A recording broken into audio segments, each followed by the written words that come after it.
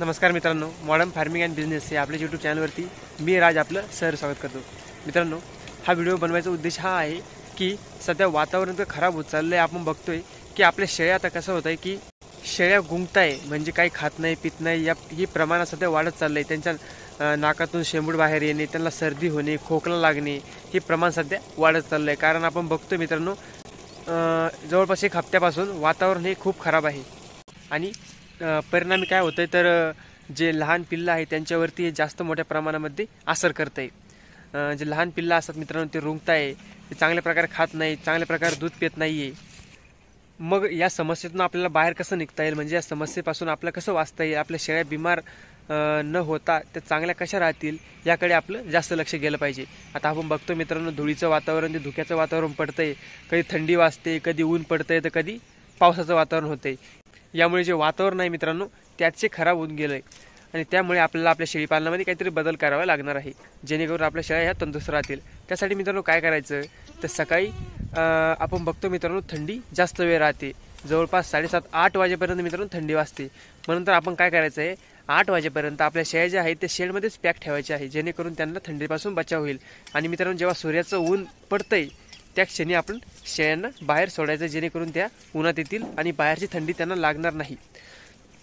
म्हणजेच शेळ्यांचा थंडीपासून बचाव होईल. मित्रांनो शेडमध्ये एक बल्ब लावायचा आहे पिवळ्या कलरचा.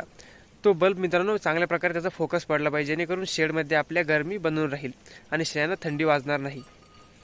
आणखी मित्रांनो अतिशय महत्त्वाचा पॉईंट आहे की आपण जे शेळ्यांना पाणी पाचतो ते थंड नसावं. मित्रांनो थंड पाण्यामुळे शेळ्यांना व त्यांच्या पिल्लांना अतिशय लवकर सर्दीची बाधा होते.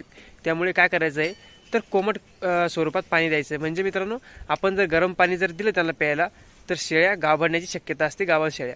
तर त्यामुळे काय करायचं नॉर्मल मित्रांनो रूम टेम्परेचरचं पाणी द्यायचं जे गरमही नाही आणि गारही नाही. थोड्या प्र थोड्या प्रमाणात गरम पाणी घ्यायचं आणि त्याच्यामध्ये गार पाणी मिक्स करायचं. जेणेकरून ते नॉर्मल टेम्परेचरचं पाणी त्या पितील. जेणेकरून त्यांना सर्दी वगैरे काय होणार नाही. मग मित्रांनो अँटीबायोटिक म्हणून त्या पाण्यामध्ये आपण थोडीशी हळद मित्रांनो मिक्स करायची आहे. पाणी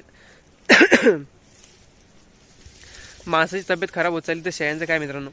थोडी हळद मिक्स करायची आहे. त्यामध्ये चवीसाठी मीठसुद्धा ॲड करायचं आहे. थोडं पीठसुद्धा तुम्ही टाकू शकता बाजरीचं जेणेकरून शेळ्या चांगल्या प्रकारे ती पाणी पितील.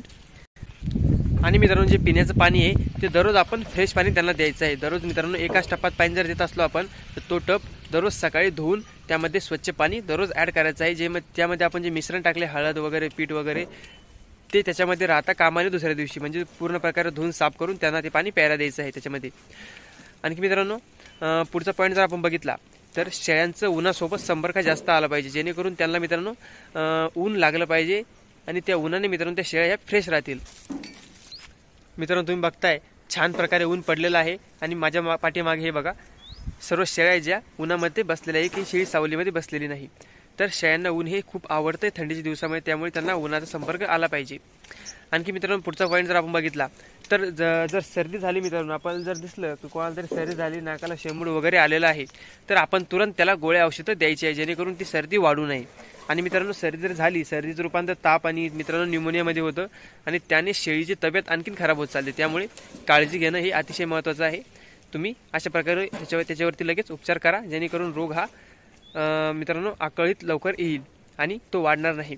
तो नवीन असाल तर मित्रांनो चॅनल सबस्क्राईब करा जेणेकरून तुम्हाला शेळीपालनासंबंधित प्रत्येक माहितीपूर्ण व्हिडिओ वेळेवरती मिळत राहतील. जय जवान जय किसान.